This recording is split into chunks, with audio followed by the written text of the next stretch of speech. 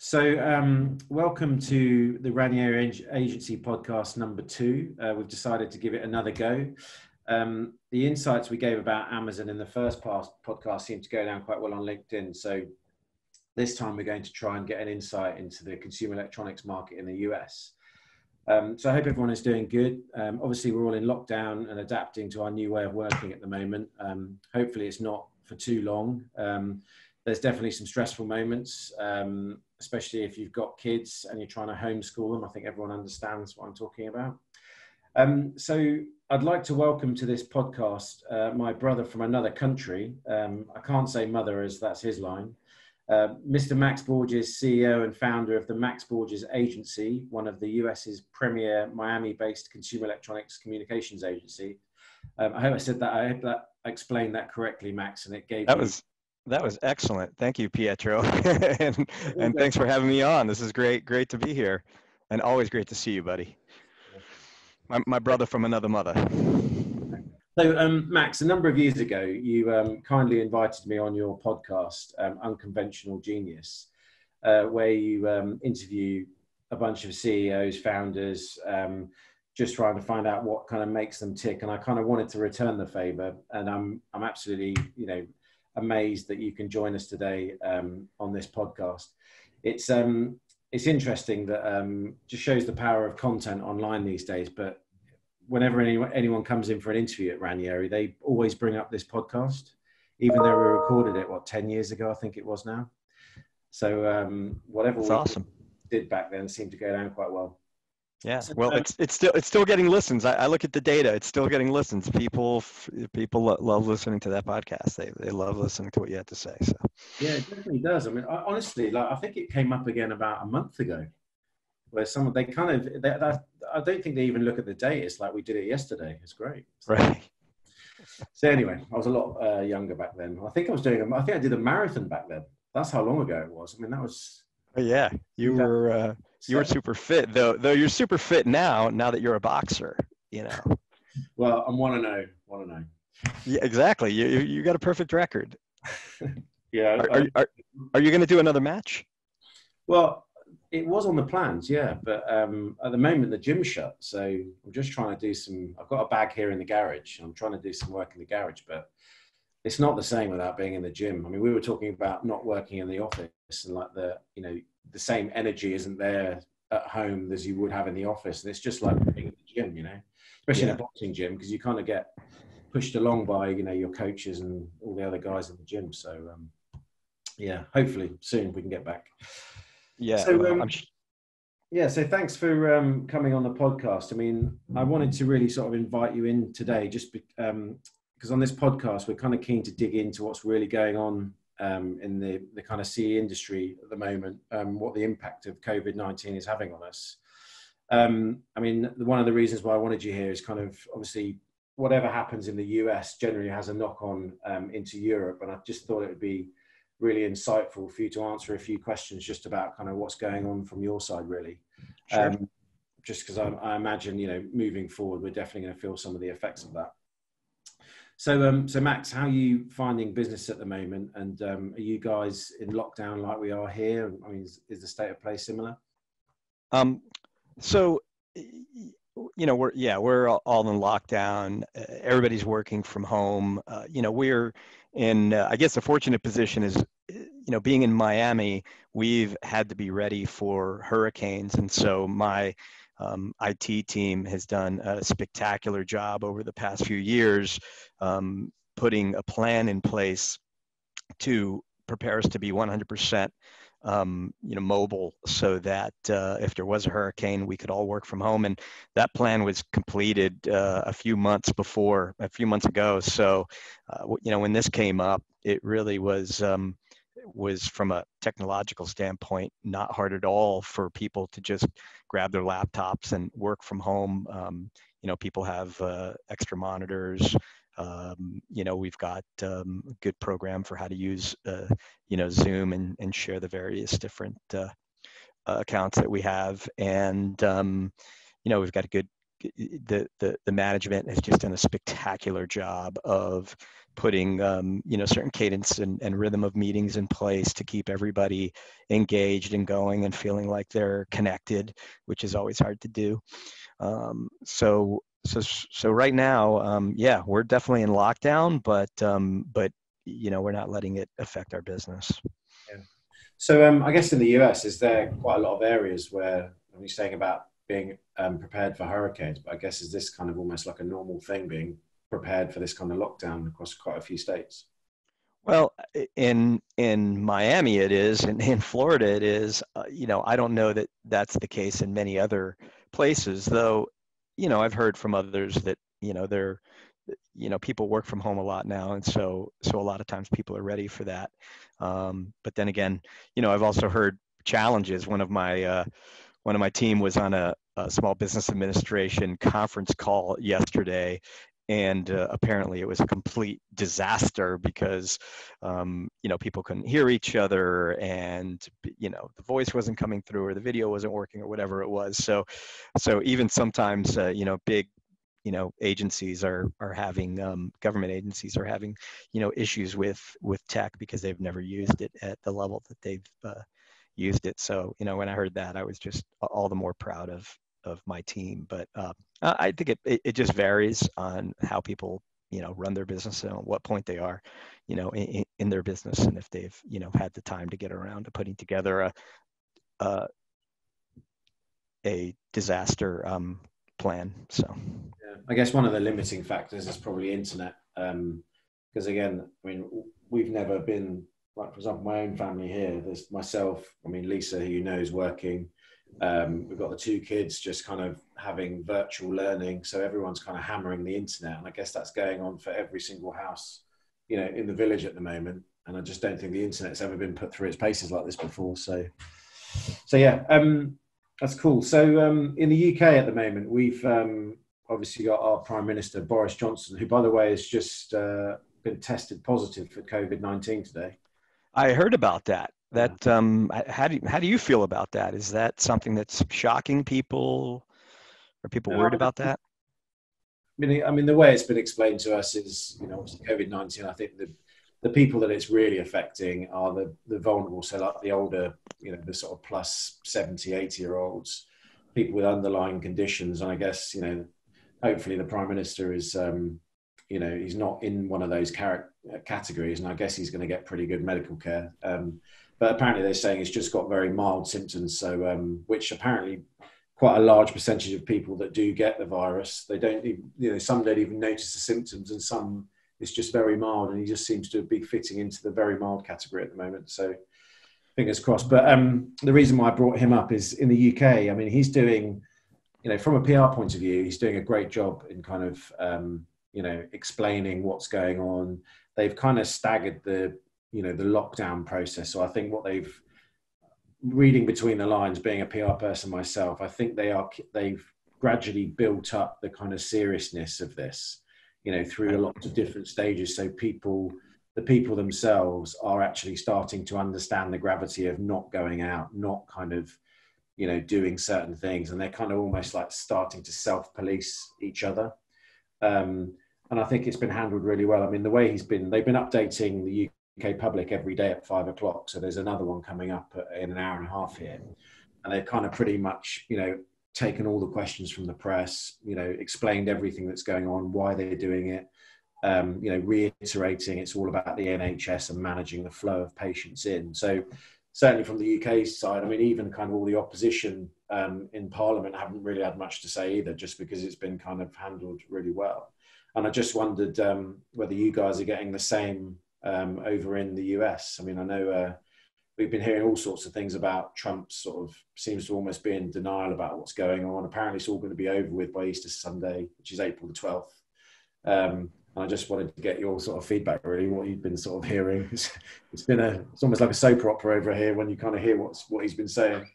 Yeah, well, there's been a lot of um, a lot of communication so uh, Trump and and Vice President uh, Pence and and the rest of the team are on TV every day, uh, sometimes twice a day, if not more. Um, so there's there's just tons of communication about what's going on. And um, you know, our our news media over here, uh, when it comes to um, you know this kind of thing, is just insane. It's either hard right or hard left, and um, and so you know you either have the group that absolutely hate Trump or the group that think Trump is you know the best president we've ever had. Um, and and there's no there seems to be no middle ground whatsoever um, so so it's always kind of a soap opera when it comes to politics here um, and um, you know it just i guess it depends you know who you ask but um, they're they're just getting ready now to um, approve a pretty major financial package. I think it might have been approved yet, but there's still detail to be reported. It's I don't know two trillion, three trillion dollars. It's it's fairly enormous, and um, and you know I'm confident that that's going to have a, a big impact, um, you know, on the uh, on the economy. Um, you know, over the past few days, uh, the economy had been ticking back up again. Today it's down a little bit, but over the past three days, it's been going up quite, quite a bit. So I think that people are start. It's probably starting to level off um, as far as the economy is concerned. Um, and as far as you know how people are behaving out there based on what they're hearing on the news, I think you know most people are hunkered down. You know they're they're staying inside. Um, they're you know people are keeping their distance from each other they're not getting together you're not seeing issues with you know i mean businesses that, that are non-essential are closed down in most cities and um, and and so I think uh, I think people understand what they need to do to get through this. And is the lockdown? I mean, I guess it's an enforced lockdown. It's uh, you know shops are shut apart from I guess supermarkets and um, essentials. Yeah, there's there's quite still quite a few things you can do. You can go to the supermarket, you can go to the drugstore, you can, you know, go get gas for your car. You can go to the auto repair store. You can, you know, there's there's various different things you can pick up food at different restaurants to go um, have food delivered uh, things like that um, i went by my office uh, yesterday just to get out of the house for a little while there were two other employees in the office. There's usually 40 in there. Um, so and there were three of us. So obviously you know we're very distanced in the in the office and and nobody was getting anywhere close to each other. So um, yeah i mean it, it's it's not like the military is out you know stopping you if they see you out on the streets but i think people are doing a really good job of uh, of just staying inside. I mean the the streets are are i think the only cars on the road are people going to the supermarket or you know delivery drivers yeah that does sound very similar to here actually i mean uh, the one weird experience i had last night was I, I finally ventured out after a few days and went to the supermarket and I just went to the like a well Tesco's, which is like a local supermarket here in the UK. Right. And um, I got there, and we all got ushered in one way, and there was they were exiting people out another way. On the way in, they had you know like hand sanitizer and mm-hmm. things. had to kind of like do their hands before they went in. Everything was um, limited because I don't know here they've been kind of bulk buying, so straight away people were buying toilet paper, pasta I mean, I haven't seen toilet paper in the shops for about two weeks. Yeah, yeah, neither have we, which is which is insane. Now it's interesting you said that because they're not doing that here at the supermarket. They're at the grocery store. They're just doing things the way they've always done it. You just walk in the grocery store, you go anywhere you want, you, you do anything you want.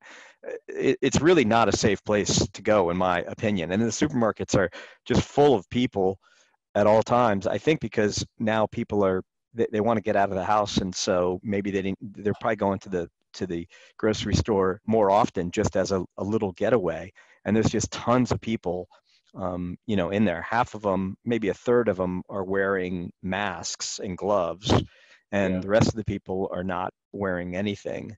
And um, you know it's it's probably the number one place right now where uh, where you can get coronavirus.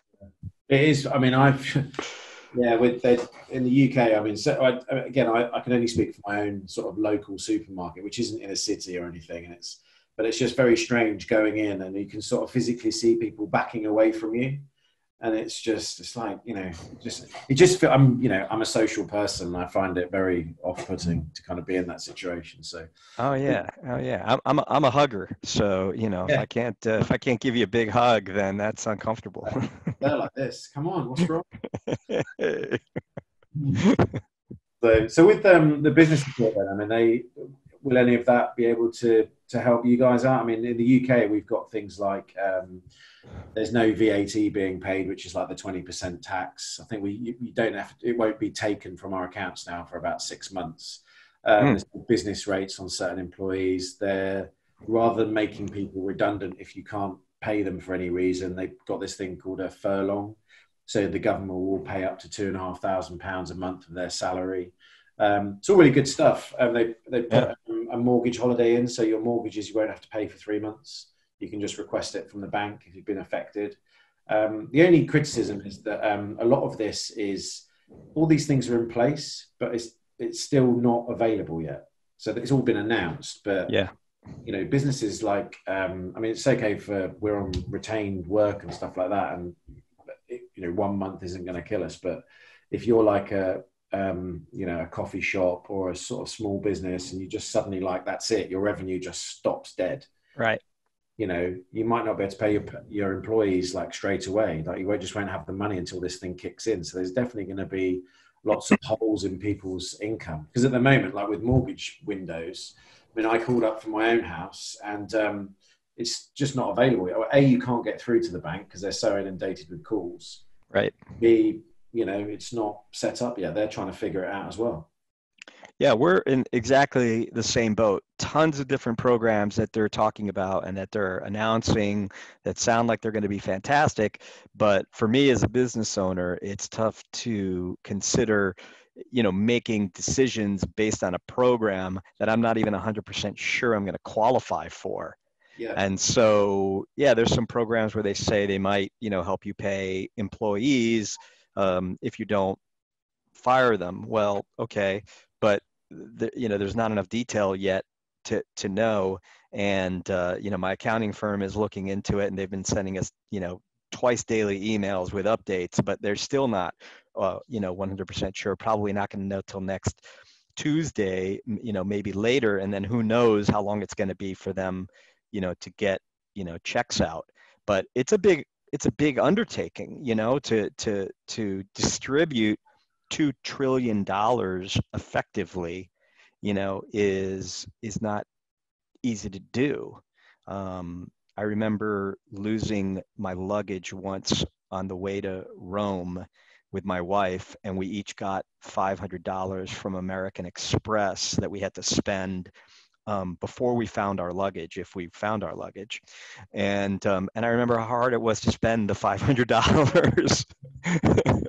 just you know buying things you know everyday things that you needed to to replace in the bag so i can't imagine what it's like to uh, to to to distribute you know two trillion dollars to to businesses and and to people effectively you know across the country yeah well i mean i guess the, the big hurdle really is just to make sure that people don't they're not um you know being fraudulent you know people trying to take advantage of all these grants and you know there's I mean, it's, it's that I'm sure it's going to happen. So um, of course, of course, and, and that's the big problem, right? Is is you want to get the money out there quickly, but to do it in a way where people are not going to be fraudulent, um, you've got to have systems and processes in place. Well, you don't have time for these things.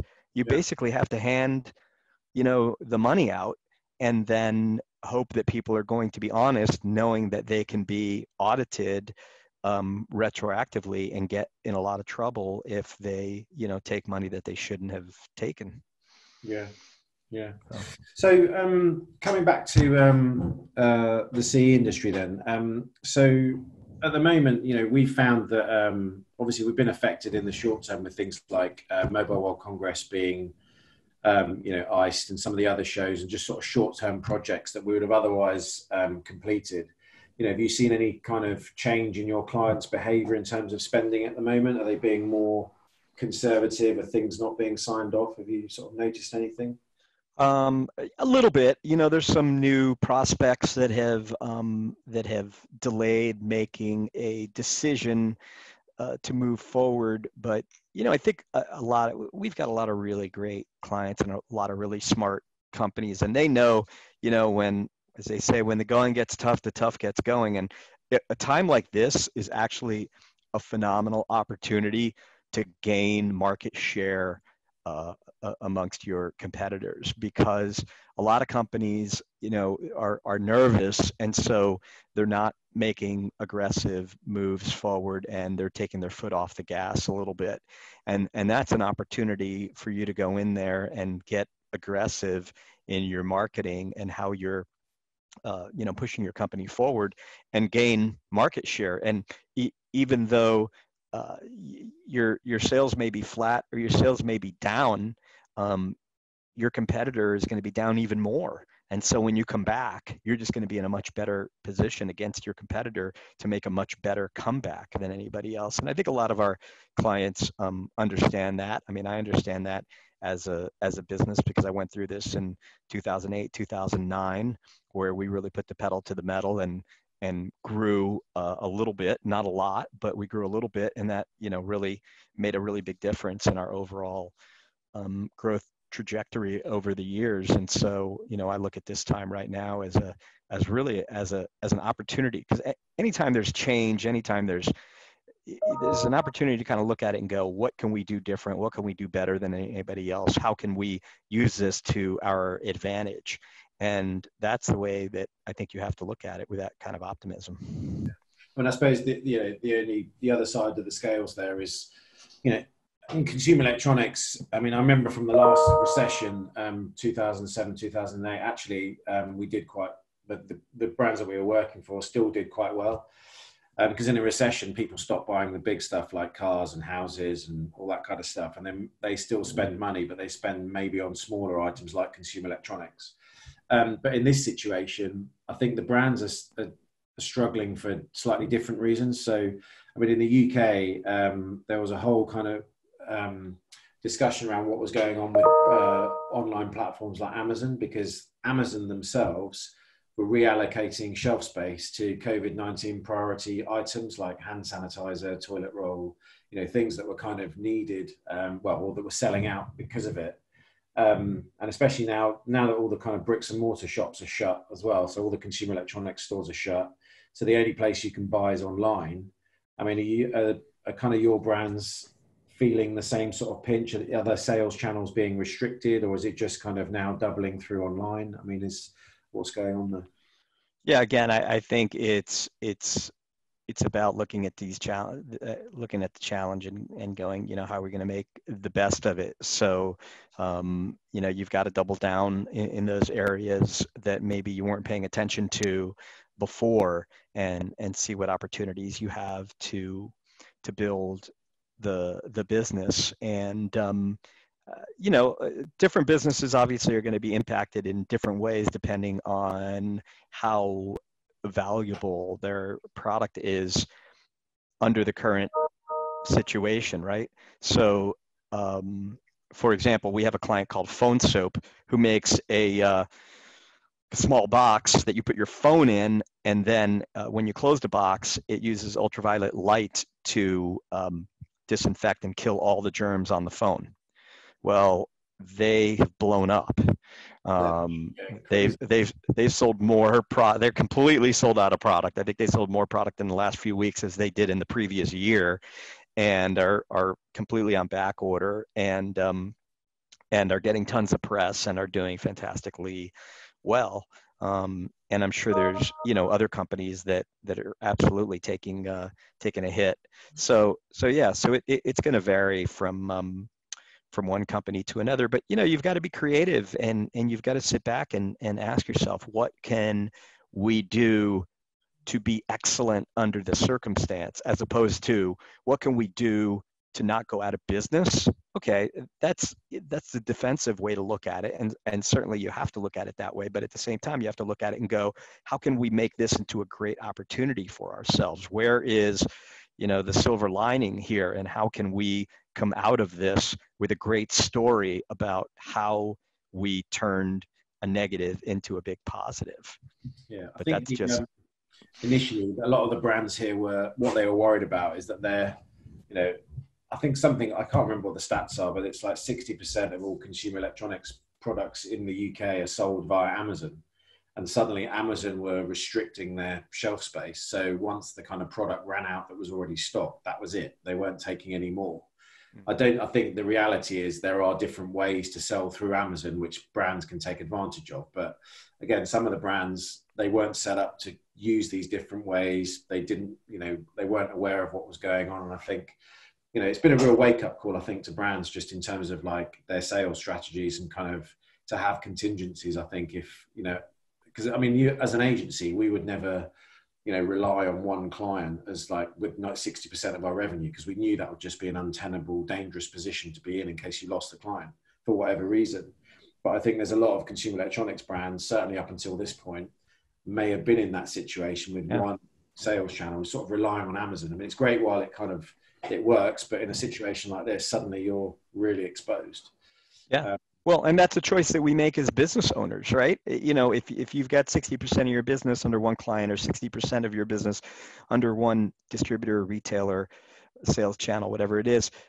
you know, that's a business choice that you're making and and you accept the risk with it. And and if that's not working out for you right now, then um, obviously that's going to you're going to be better prepared the next time around. Yeah. You know, so so you know, hopefully it's something that companies will be able to survive um, because next time around, you know, they're going to understand that, you know, when you do something like that, um, you take a risk. I mean, I remember, you know, when I first started my agency and I had, you know, one client, I was terrified because I only had one client. I was just starting. And when I had two, three, four, five clients, I was still terrified because you know with five clients you lose one of them and you might lose 20% 30% 40% of your business overnight. So my motivation was always not to grow the individual clients but to get more clients so that no one client was too much of my business. And so you know i, I was i was always just terrified uh, uh of that. Yeah. and and today don't have any clients that are more than five or six percent of our business. And so um, you know these are these are all decisions that we make as as business people. And and you know sometimes you have to take that risk and um, and put you know all your chips on one um, you know number. But but um, but I think uh, you know again it, it's that's uh, this is what running business is all about right? It's about choosing your risks and and making the, the decisions that are going to be best for you. And sometimes they're right and sometimes they're wrong. And hopefully they're not so wrong that they put you out of business. I'm pretty sure we talked about this in our original podcast 10 years ago, but it's, it's calculated risk. It's, you know, if yeah. you've got an over reliance on one brand or one customer, you know, you just need to make sure you're using it as a stepping stone to get to where you want to be. You can't rely on that business moving forward. And I think certainly a lot of young consumer electronics brands that may have been caught out in the last month or so, you know, this is a learning curve for them. And if they come out of it the other side, you know, they now know what how to reorganize their model moving forward. Um, I mean, one uh, Warren pointed out to me in, my, in the first podcast um, about Amazon and companies that were overly reliant on Amazon. You know, not to forget other um, platforms like eBay; they do exactly the same thing. But a lot of people focus on Amazon because that's where, you know, where the, the media hype is. So so yeah, cool. Um, my next question really was around um, a lot of shows. I mean, so far this year we've had Mobile World Congress, E3, GDC. I'm pretty sure IFA is going to be cancelled as well. Brands typically use those shows as a platform to kind of launch a bunch of products um, or to do all of their sort of face-to-face meetings. I mean, it's always sort of it's a well-known fact that um, you know when you it might be difficult to kind of meet people from brands because everyone's so busy through the year but at the shows on the other side of the world you know they're much more available just because they're there to meet people for three or four days. Now you know through probably throughout the whole of this year i'm not really sure of any sort of major show that's probably going to really go ahead. Um, may even go into ces next year you never know. Hopefully by then it should be okay but but um, i kind of feel that brands have had an opportunity to rethink how they spend their marketing budget because you know what again what we found certainly at Ranieri is um, brands that would typically have spent quite a lot of money at um, expos around their stands you know getting people there kind of all the kind of costs that get associated with it, have suddenly got budget available. They've still got their product launches through the year, but they're having to sort of rethink what they do. Um, and I actually think when we come out of the other side of this, I do worry for um, you know exhibition providers because I wonder if once people have kind of realised that they don't have to spend you know half a million dollars on an exhibition stand and can still launch their products in the same way to press, you know, will they continue to kind of spend money in this way, or will they actually be a lot more focused on doing like Apple and um, you know some of the bigger brands for years? They've done their own developer conferences, their own announcements. They completely bypass exhibitions and have done for a long time. Um, you know, is that the way forward for brands these days, or do you think the exhibition model will just you know pop up just like it always has? You know, that's a great question, and it's something that I had thought about years ago when you know video conferencing started to um, you know come out, and um, and and I just thought, wow, with video conferencing and the internet, why do you even need a trade show? I, I mean, what's you can see everything, you can communicate, you know, effectively, just like you and I are communicating right now. It's it's this is almost as good as you know talking face to face, and um, and I was I was shocked that, you know to see shows like CES continue to grow and grow and grow. I think something like this happening, and we'll see if this impacts CES. I, I doubt it's going to. Um, you know still still be an issue by the time CES comes around in January. But um, but I think it, it's going to force it's forcing people to use video conferencing more effectively. I think people don't use video conferencing enough now. A lot of times people still email each other or maybe they'll call each other, but they're not video calling each other enough and making that contact, which is one of the real values I think in the trade shows is having the the face to face contact. But you can get that through video conferencing. Um, it's just that people don't use it for whatever reason. I don't know if they're you know they're afraid they're going to buy. It's just kind of this maybe this this wall that exists where you don't know if the person is busy you don't know if that person wants to talk to you where if you're at a trade show and you see somebody standing there, it's a lot easier to just to walk up to them, um, especially if you know them and to say hi to them or to set a meeting to talk to them. But I think that um, this is probably going to just move that forward more quickly. Just this idea of people using video conference to communicate more often um, and and more effectively. Will it replace the trade show? I don't know. I mean, people still like you know meeting people in person and and touching and feeling products and and uh, and and having you know that kind of experience but um, so I, if I had to guess, I would say that it's probably not going to have a huge long-term impact on trade shows, but it probably will have a positive impact on how well and how effectively people are using video conferencing to communicate. I mean, one thing over the past sort of, I don't know, maybe five years now, I mean, I, I think trade shows have been, they're always a, a great kind of epicenter for people to kind of meet, you know, all across the world and everyone to kind of be focused on a particular event. Um, but already I've seen, you know, I spend my, well, probably you're the same, but, you know, meetings at places like CES tend to be more in hotel suites than they do at the conference themselves. And I just wonder if maybe that will kind of you know increase more where people won't get this enormous stand anymore. They'll kind of become the suites will become a bit more lavish and you know i mean i'm gonna i'm gonna put my stake in the stands here and say look i think that shows you know will have a knock-on effect from this because i think people will sort of wake up to the fact that maybe they can actually be more productive with their budget with hitting their customers than spending you know half a million dollars on a stand where they'll probably I mean, when you have that stand for the whole week, you may, I don't know, you probably get two or three really good meetings, which end up in proper customers with proper, proper POs. I mean, yep. you know, would you have been able to find those brands otherwise? Probably.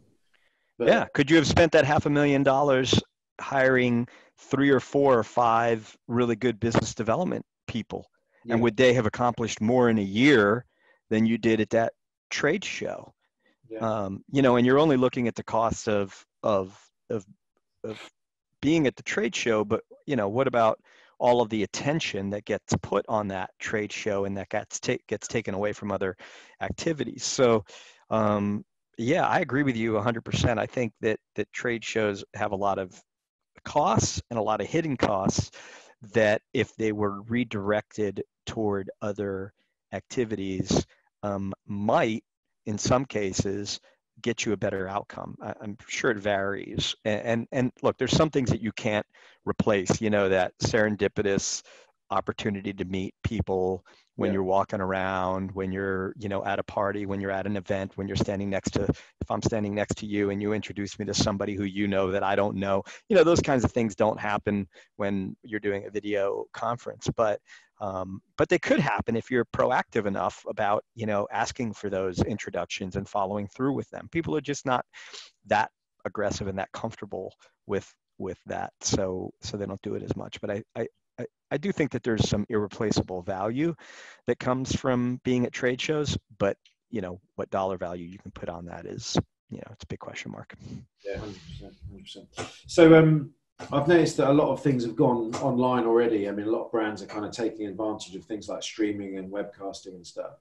Have you? Um, I mean, there was one in particular I watched uh, last week, I think, which you know I think for our industry, there's definitely a massive opportunity to kind of you know be creative and get these things more interesting because you know I don't want to see you know a man stand on a stage in front of a green screen for 45 minutes which is kind of you know reenacting a live event. I mean, actually, you know, I was saying why not get um, you know if you're launching like a music product, you know, get a hologram of Jim Dawes to do the uh, you know to do the presentation. Jim Morrison from the Doors, not Jim doors.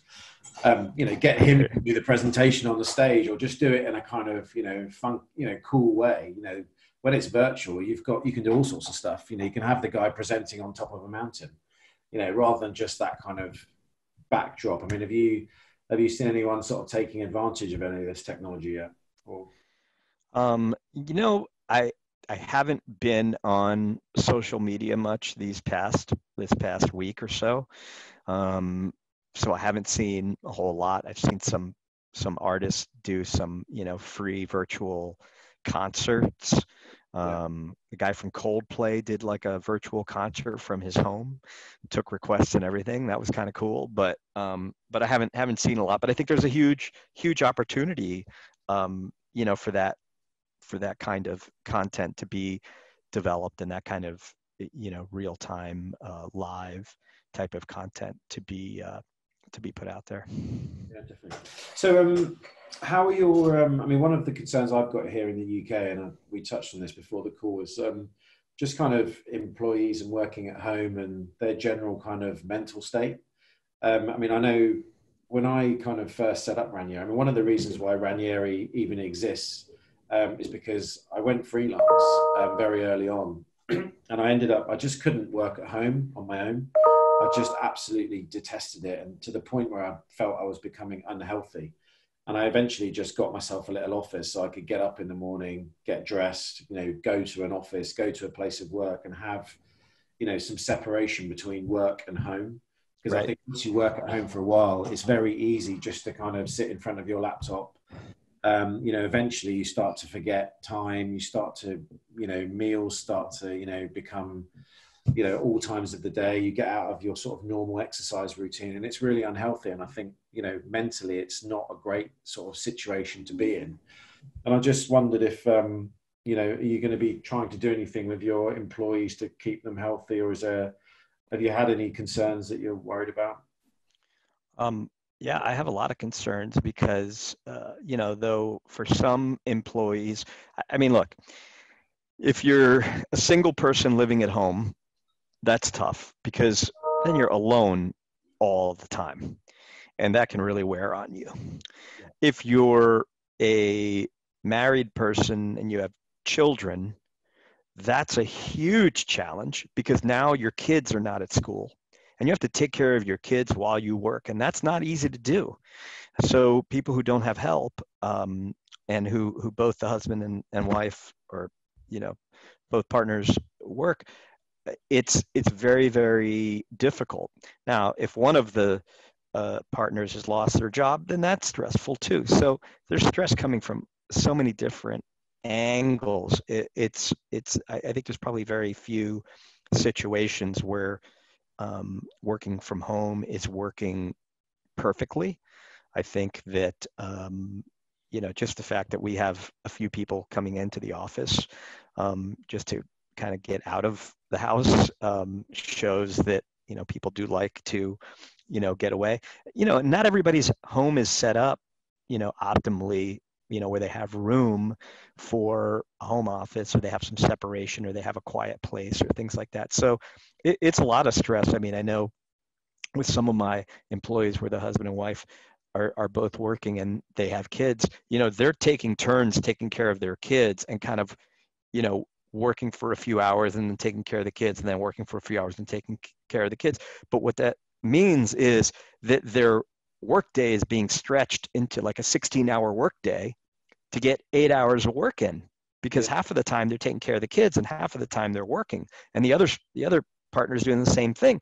And so so now you know they're working a couple hours in the morning a couple hours in the afternoon a couple hours in the evening and a couple hours late at night. It's like the day never ends. And there's never any time where they're both free to just chill out and you know watch some netflix together so it, it it's yeah it's it's really really really tough and um and i'm i'm really proud of I, I, under those circumstances um my folks are doing an amazing job. I got to say, I was I was nervous when we were first talking about um, letting everybody work from home and how that was going to work. But um, even with all that stress and all those challenges, um, you know, everybody on the team is doing a spectacular job. They understand how important it is for us to, um, you know, keep pushing forward as hard as we can. As I like to say, the only thing worse than getting the coronavirus is getting the coronavirus and then losing clients and then having to lay some people off. So, you know, we don't want that to happen. Um, so, so, you know, we, we've got to keep pushing through these tough times so that they don't hit us harder than we want them to. Yeah. Mean, I think as employers, I'm, you know, I definitely feel a sense of responsibility and it's just, I've just thought of a few ideas that I might, um, because I think one thing I've noticed, like for example, with um, you know IT in the office, you, I, you know, I'm always staggered sometimes where someone might have a laptop that isn't working properly and their mic's not been working, and they don't actually say anything because they're too worried about you know becoming seeming to be being a difficult person or something. And I just want to make sure that you know I speak to all employees, maybe even call them individually and just say, look, you know, have you got everything you need at home? Is there anything we can do to make anything better? Because uh, I mean, you guys are probably way ahead of us because you're prepared for the hurricane season. You've kind yeah. of stuff in place. Whereas for us, this is a completely, you know, no one in the UK is prepared for this because this has never happened before. You know, people are used to working at home, but working at home from our point of view means just taking your laptop home and working from home for the day. You know, all our stuff is in the cloud, but when you're working for weeks on end in an environment where you know you haven't got a big screen you know like a keyboard and a mouse and all that kind of stuff you know it's right. becomes difficult. So it's very, it's funny what you said about the kids and uh, family and stuff. Again i'm again i'm lucky here where i've got you know my wife and my two kids here and i'm actually just trying to stay positive and just i'm i'm sort of seeing it as a look when a, when in the next 20 years am i going to get to spend you know two months with my kids?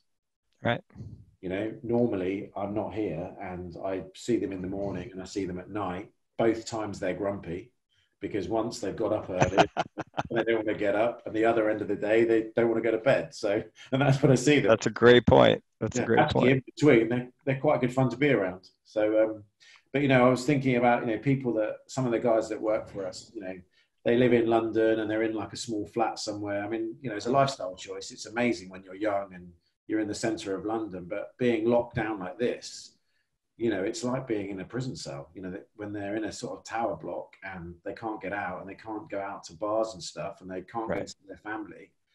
You know, they're the guys that I just feel like, man, I don't know, maybe we just take extra care of and just make sure they've got everything they need. But yeah, I I, I totally agree. I just you know at this point, and and we do that, of course. You know, I reach out to employees to see you know how they're doing and if they need anything. I think from an it perspective like they know that the expectation is that their it always be 100% on point and so so we we expect them to always expect that. And so um, you know everybody's got a headset like this and everybody's got a you know a good webcam and everybody's got an extra monitor at home. We supplied everybody in the company with an extra monitor at home. Um, and so so everybody's got the equipment that they need. And then you know our it team is you know reaching out to people on a regular basis and making sure that they have everything they need as well checking on everything. And um, so so i think that all that's working out. I think some of the challenges uh, you know i don't know what the solution is you know uh, because if someone's locked in and and they you know want to get out there's there's not a whole lot we can do. Now we are having a company meeting today and we turned it into a happy hour meeting. So we're we're going to be doing a zoom meeting. There'll probably be more than 40 people on it and uh, and everybody's going to have a, a, a, alcoholic beverage to drink during the meeting. So that'll be late late uh, in the day today, but uh, but that'll hopefully be something that'll be um, you know fun for everybody and uh, and give everybody a few minutes of relief. We've got a hard stop at 4:30, which is in 35 minutes. We have exactly the same thing here.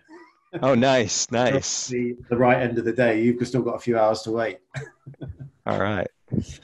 So um, yeah, so cool. So um, when do you uh, when do you think um, things might get back to normal? I mean, um, I've been sort of quite uh, you know, well, not excited is the wrong word, but kind of quite um, happy about the fact you know China seems to be getting back on the men now. Apparently, production's up to sort of seventy percent. A lot of the rules are being relaxed.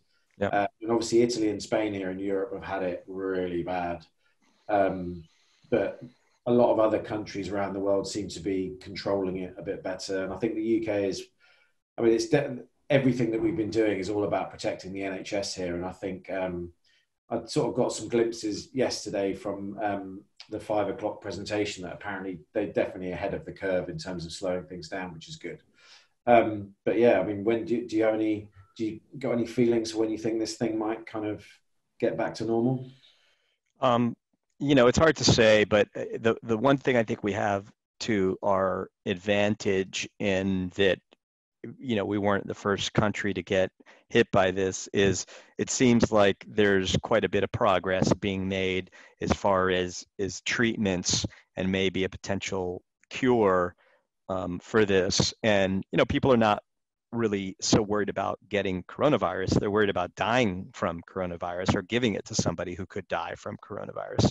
And so if if a treatment can come out that that can cure people or, or help people get better from this uh, so that they don't die, well, then that's a, a, game changer because then people don't have to worry so much about whether or not they get the coronavirus um, because it, it's just going to be, you know, you like getting the flu and you get better and that's the end of it. So, you know, I'm, I'm optimistic and hopeful. I'm always an optimistic guy. So uh, I'm hopeful that something like that is going to be, um, you know, coming out soon.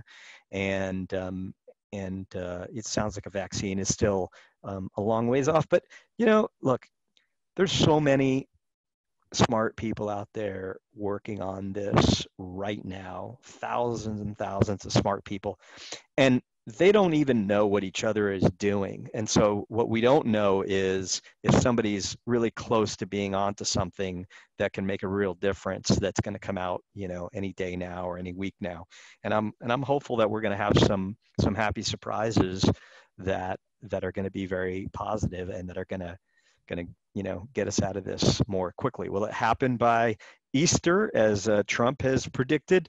Um, yeah, I think that's a little bit uh, maybe too optimistic. Um, but you know, I made I made a prediction yesterday to my team that by the end of the year that the that the markets would hit record highs again, and um, and I think that it probably won't be too long after Easter, you know, weeks versus months, um, that things start to level off and and get back to normal again. Um, that would be my prediction. But you know, what do I know about these things? I think as soon as there is a glimmer of you know us coming out of this, those markets are going to rocket because people will just start ploughing back in because they know that there all is a, is a huge amount of money to be made at the moment. Absolutely, absolutely, um, and and people are just they're they're looking for the bottom, and um, I think that maybe some people didn't think that the bottom the bottom might have might have come you know three or four days ago.